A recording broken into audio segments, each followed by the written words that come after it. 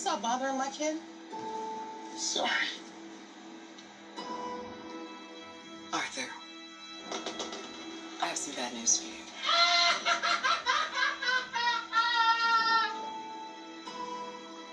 This is the last time we'll be meeting.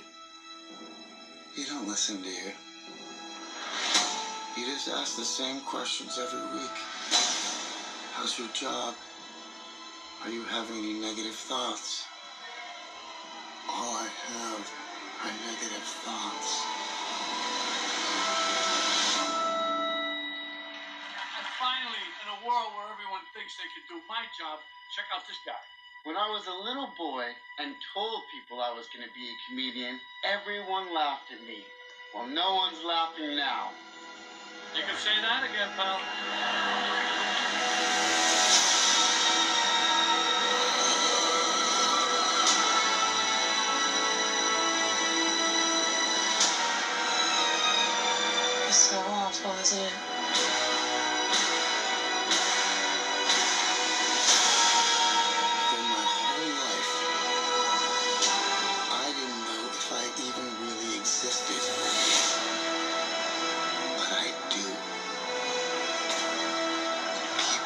Starting to notice. Think this is funny? Is this a joke to you?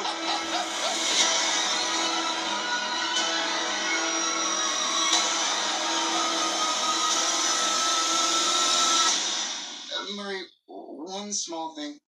Yeah. When you bring me out, can you introduce me as Joker?